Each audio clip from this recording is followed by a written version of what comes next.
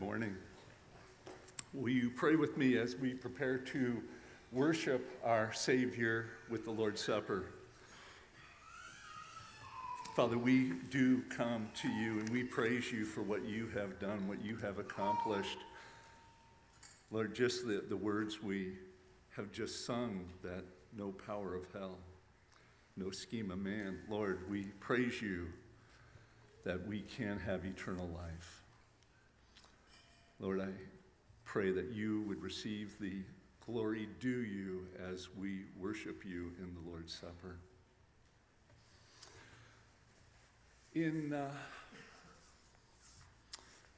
1 Corinthians, Paul instructs the church in chapter 11 that whenever we participate in the Lord's Supper, we do it in memory of Jesus, in memory of what Jesus has accomplished. So, in, be, in obedience to the scripture, we are going to take the Lord's Supper now. As we prepare, will you open your Bibles to 1 Peter chapter 2?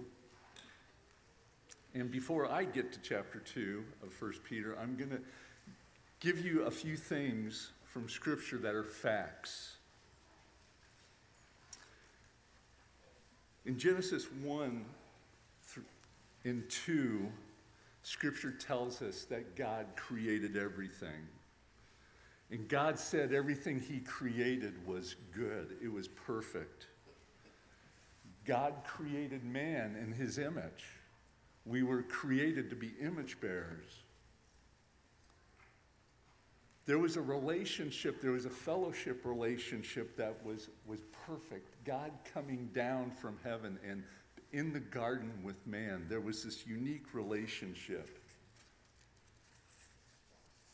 The next fact I want to bring to your attention is in Genesis chapter 3, sin entered the world and it ruined everything.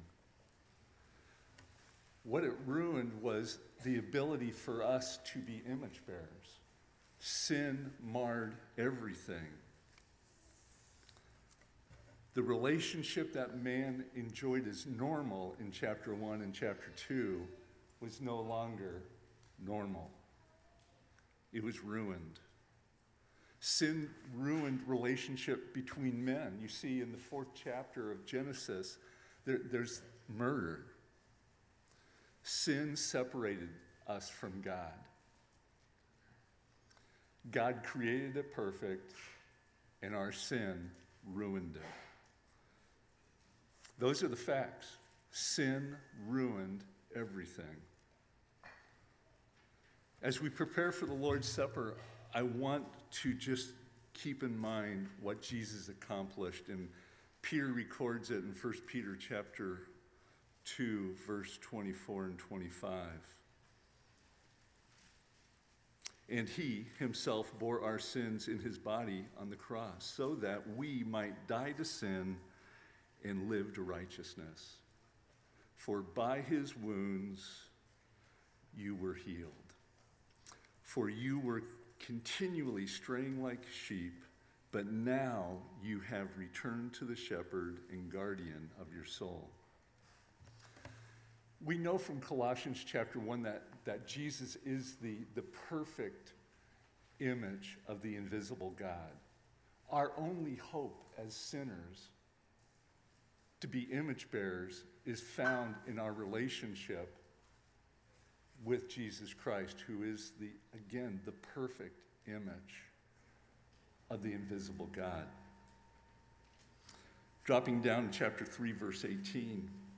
For Christ also died for sin once for all, the just for the unjust, so that he might bring us to God having been put to death in the flesh, but made alive in the spirit. This is a time of remembrance, a, remembrance of what Christ accomplished. So as you spend some time with the, in preparation of receiving the, the cup and the juice, consider what Christ has accomplished. You will be receiving, the men are going to bring a little cup and a cracker And, and this cup of juice is a reminder of, of Christ's blood that was shed at the cross, and the cracker is a reminder of his body that he freely gave up. Think about what he has accomplished.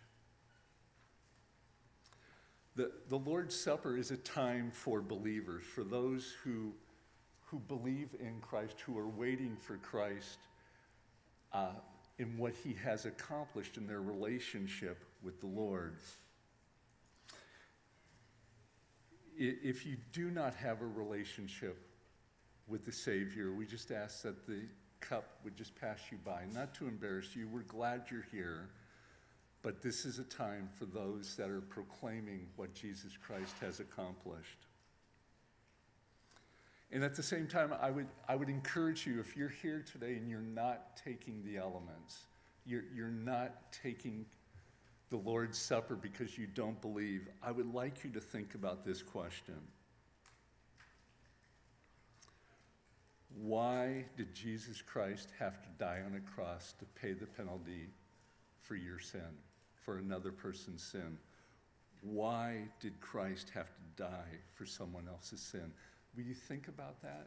If you would like help understanding, find me, find any one of the elders. But I, I would love for you, if you're not participating, just to wrestle with that. Why would somebody have to die for my sin? Why would Christ have to die for my sin? Men, come serve us, and we will take communion on our own. So please take communion when you're ready, and I will come back up and close our time in prayer.